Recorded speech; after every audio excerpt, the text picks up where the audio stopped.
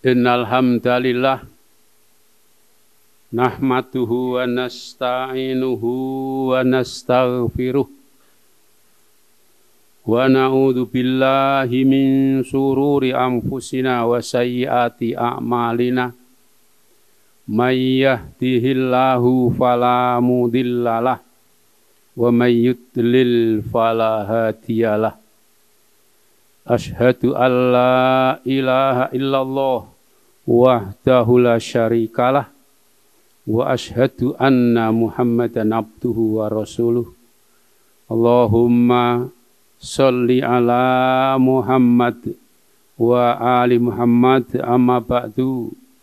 Fa ya ayyuhalladzina amanu taqullaha haqqa tuqatih wa la tamutunna illa wa antum muslimun ويا أيها الذين آمنوا اتقوا الله وقولوا قولا سديدا يصلح لكم أعمالكم ويغفر لكم ذنوبكم ومن يطع الله ورسوله فقد فاز فوزا عظيما إن أصدق الحديث كتاب الله وخير الهدي هدي محمد صلى الله عليه وسلم wa syarrul umuri muhdatsatuha wa kullu muhdatsatin bid'ah. Wa kullu bid'atin dolalah. A'udzu billahi minasy syaithanir rajim.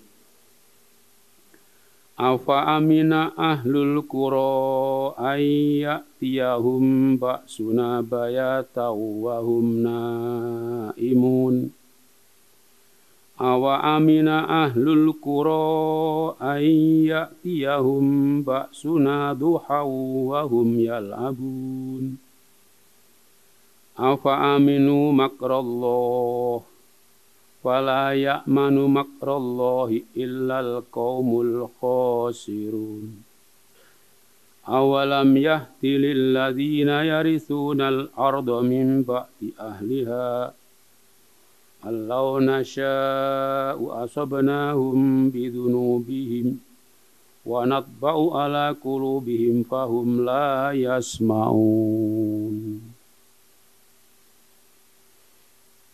Baik ibadallah Sidang Jum'ah yang berbahagia Marilah kita benar-benar hidup ini menjaga diri ya Menjaga diri dari apa? Menjaga diri dari siksa Allah. Ketahuilah siksa Allah itu sangat berat. Ya. Bahkan di dunia pun Allah kadang-kadang menimpakan siksa itu dengan tidak diketahui. Ya.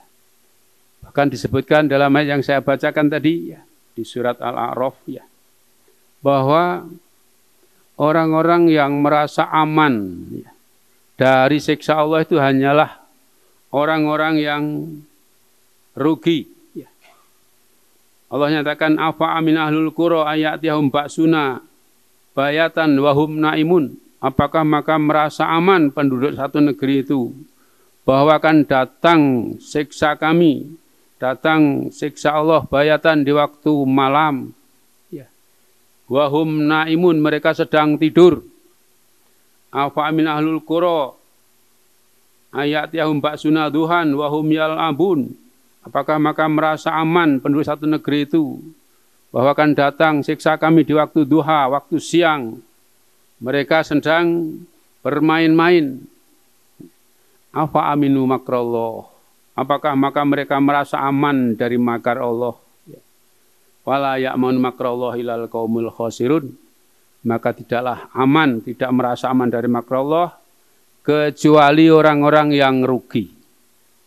Menunjukkan bahwa orang-orang yang beriman orang-orang yang memang akan selamat dari si Allah di dunia akan selalu merasa tidak aman dari siksa Allah. Kapan pun ya. Allah mampu Allah bisa mendatangkan siksa sewaktu-waktu Bahkan dia berikan awalam yahdi lilladina yarisul ardo. Apakah maka tidak menjadi jelas, tidak menunjuki buat mereka, buat orang-orang yang yarisunal ardo, mewarisi bumi ini. mimba di ahliya dari sudah penduduknya. Jadi generasi-generasi yang menggantikan generasi sebelumnya apakah merasa aman, apakah belum jelas, tidak menjadi petunjuk buat mereka. Allah nasya'u, kalau saja kami kehendaki asobnahum bidunubihim, kami akan menimpakan musibah kepada mereka dengan sebab dosa-dosa mereka. Wanat ba'ala kulubihim dan kami akan mensampel atas hati-hati mereka. Fahum la yasmaun sehingga mereka tidak mendengar.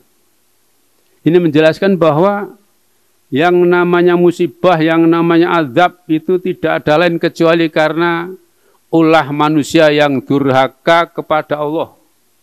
Sehingga masing-masing manusia adalah merasa tidak aman dari siksa Allah kapan saja dia durhaka kepada Allah, pasti akan mendapatkan siksa dari Allah. Untuk itulah namanya masing-masing dalam ini menjaga diri.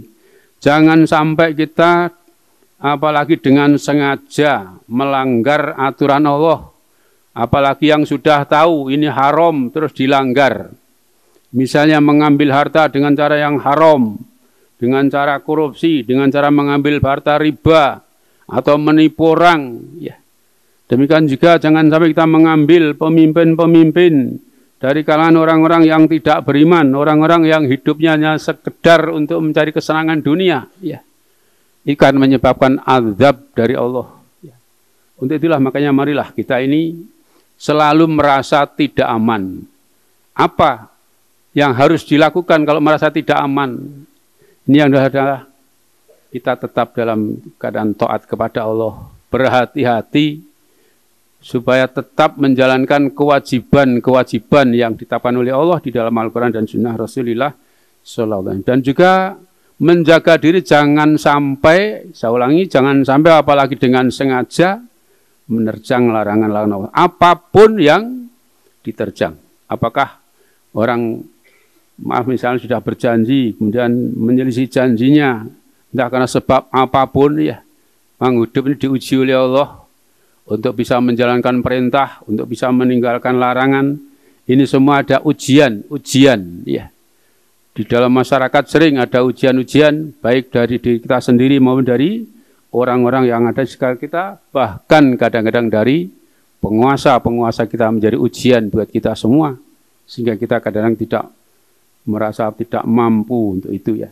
Itulah makanya kalau merasa berat bagaimana mintalah tolong kepada Allah. Allah akan menolong kita kapan saja kita mau minta tolong kepada Allah Ta'ala. Itulah makanya marilah kita benar-benar berhati-hati ya. Jangan sampai melanggar aturan-aturan Allah. Kalau mau cari makan, carilah makan yang halal walaupun mungkin agak sulit, mungkin keuntungan sedikit dan seterusnya ya. Jangan sampai kemudian mengejar keuntungan yang besar tetapi melanggar aturan Allah Ta'ala ya. A'udzu billahi minasyaitonir rajim wal asri innal insana lafi khusr illa alladziina amanu wa amilus solihati wa tawassaw bis sabr wa qur rabbi wa wa arham anta khairur rahimin.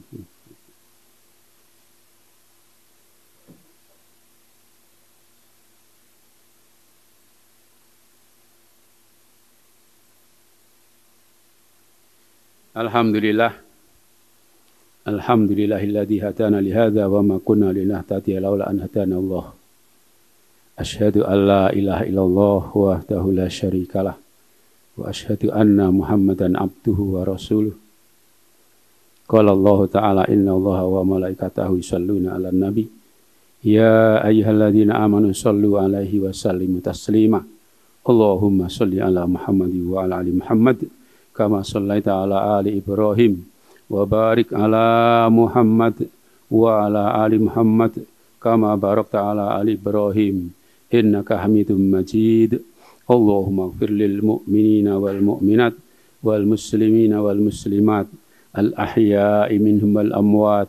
Innaka sami'un qaribun mujibud da'awat rabbana fir Robbana atina fid dunya hasanah wa fil akhirati hasanah وقنا عذاب النار ربنا هب لنا من أزواجنا وذرياتنا قرة أعين واجعلنا للمتقين إماما اللهم إنا نعوذ بك من علم لا ينفع ومن دعاء لا يسمع ومن نفس لا تشبع ومن قلب لا يخشى يا مقلب القلوب ثبت قلوبنا على دينك ويا مصرف القلوب صرف قلوبنا إلى طاعتك ربنا لا تؤاخذنا إن نسينا أو أخطأنا ربنا ولا تحمل علينا إسرا كما حملته على الذين من قبلنا ربنا ولا تحملنا ما لا طاقة لنا به واعف عنا واغفر لنا وارحمنا أنت مولانا فانصرنا على القوم الكافرين وصلى الله على محمد وعلى محمد والحمد لله رب العالمين أقم الصلاة